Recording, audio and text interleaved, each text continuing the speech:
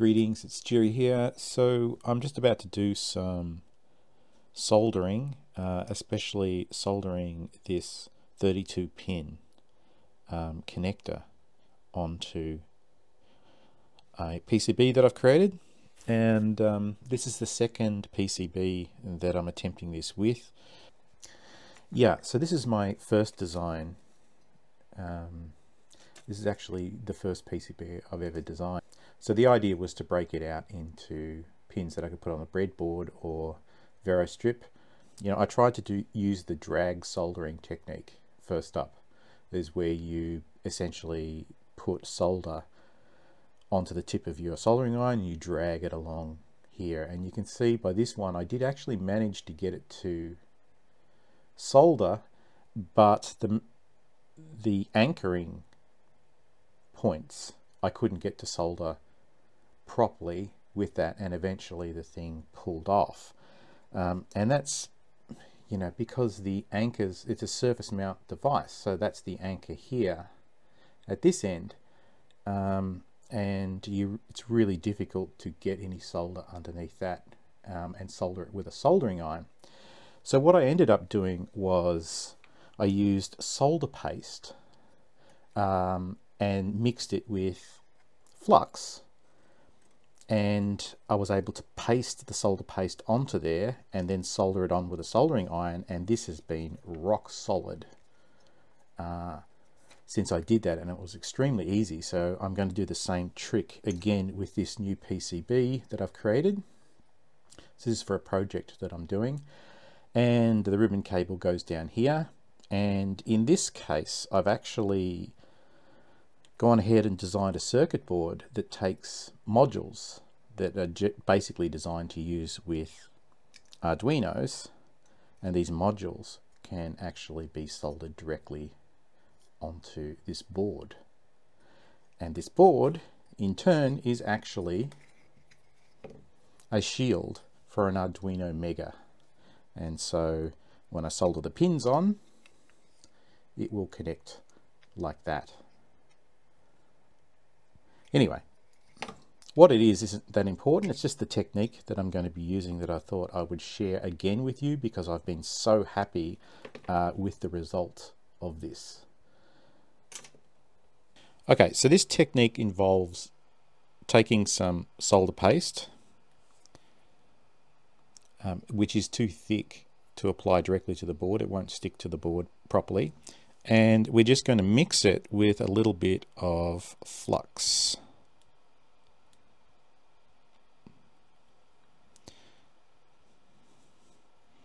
Okay, it's a bit gooey.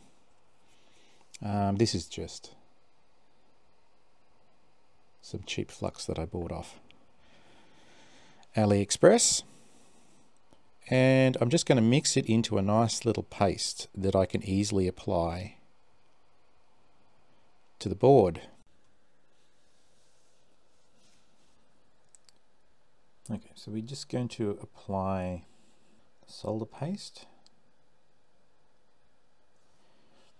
It can be quite liberal, but um, what I don't want to do is when I'm doing these pins is I want to leave the ends of the pins uncovered so that I'm able to place the connector on the board and see where the pins line up. Otherwise I'm going to be flying blind.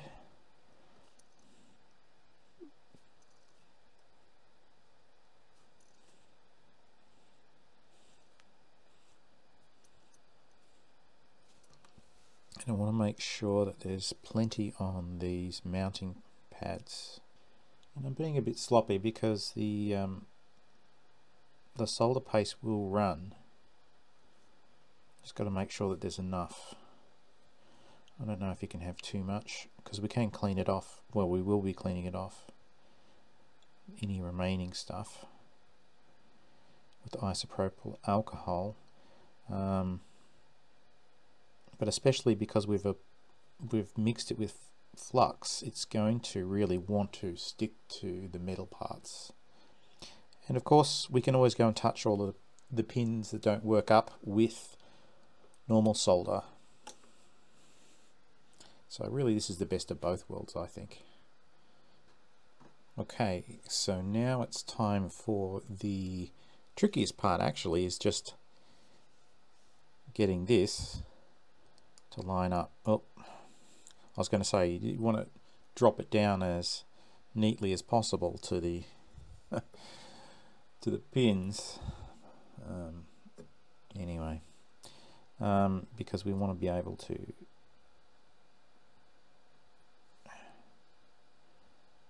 line up the pins. Okay.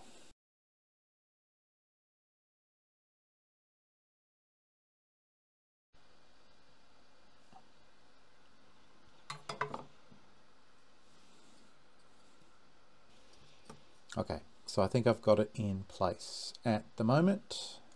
So now I just need to go along and I'm just going to touch each individual pin and the solder should flow very nicely. Lovely.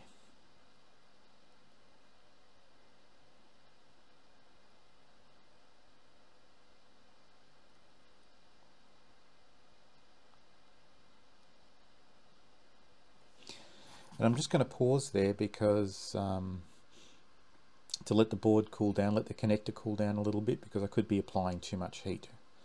Because I like to have my soldering iron turned up, which is a habit I really should get out of.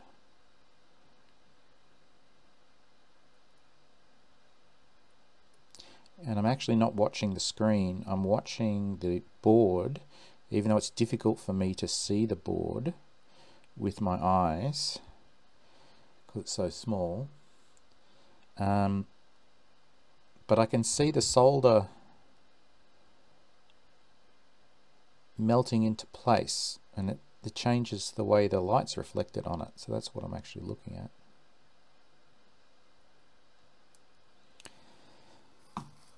yeah so I'll just let the board cool down a little bit and I'll give it another go over and then we'll check the pins and then we will finally solder on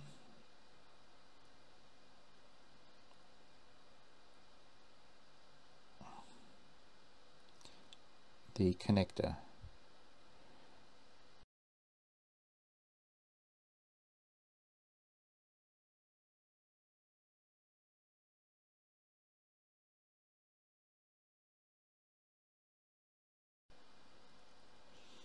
Yeah, I really don't think I could have done this without this um, hooked tip. I really like it. Not expensive. Let me just check that.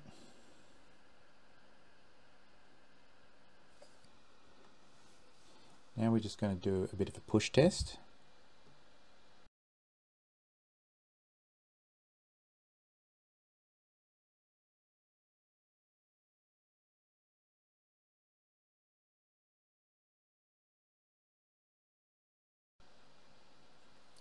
Okay, so they're all connected on quite nicely. Um, yeah, it's a bit hard to see, but you know I've checked the filleting, so I've checked to see that the solder has actually made good connection underneath.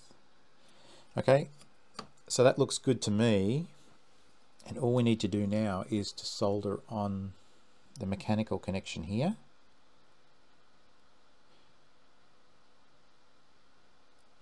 Which like I said is really good. This is what the solder paste really helps you with because again the solder is sitting underneath the pad and now that I've done that I've got a really solid connection. Yeah that's really really solid. Obviously I will be testing the connection once I put the ribbon cable in I'll, I'll, I'll test the whole lot. Um, so the only other thing we need to do is to clean it up uh, with some isopropyl alcohol. So that's the final result there, nice and secure. Okay, so the next step to get my glorious PCB working is I want to solder on the pins underneath that will connect it onto the Arduino Mega um, to make sure that that's okay. I have checked it before, so I'm pretty sure that it is, but I've been wrong before.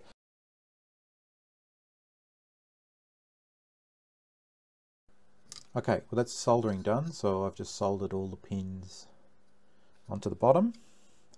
And now for the moment of truth. Will it actually fit as a shield onto my Mega? I'm a little bit concerned. Look at that. So now I just need to put in um, some female headers here so I can plug in my little Arduino components and populate a few more pins at the top to break out. Excellent. Okay, so we're finished.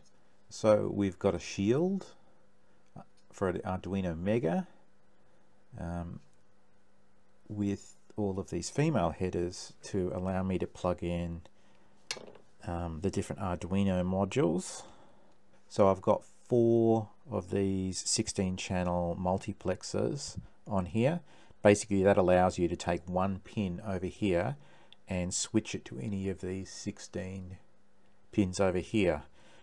And I've got four of them. And um, the other thing I've got is a level shifter for talking with other devices.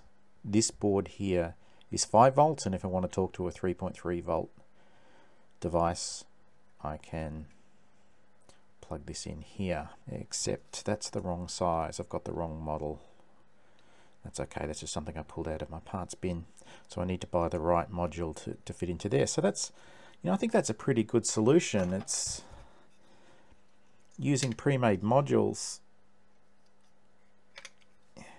makes a lot of sense to me certainly saved me a lot of time when creating the PCB. If I had have had to actually um, create the circuits for all of this, it would have been far more complex. And of course, I can just pull them out if they're faulty and uh, plug another one in.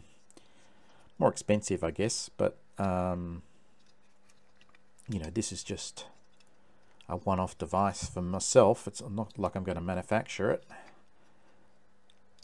In which case, maybe that wouldn't be such a good idea. But there you go. So I'm pretty happy with that. Now, whether it works or not, I'm not 100% sure. we'll have to we'll have to check that out. Um, but that's there's a lot of code that needs to be written um, for this device to work, and it's not something I'm going to do now. Okay, so I'm going to leave the video there.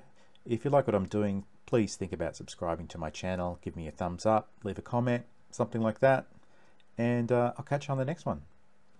Ciao.